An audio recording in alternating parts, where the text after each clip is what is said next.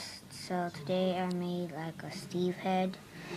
Uh, it's pretty cool. And why you're thinking why I put those stuff inside is because the box was too big and my hair doesn't feel comfortable with it. So yeah.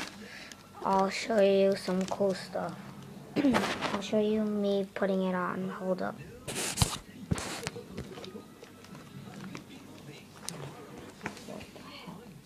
Okay, so there you go. It's pretty cool. Right here are my the holes. So, yeah. And hold up, let me do cool stuff. And hold up. I'll be right back. And so, yeah, that's pretty much it. So, like, there. I'll make a tutorial on how I did this, so yeah. Check out my channel, please rate, like, and subscribe.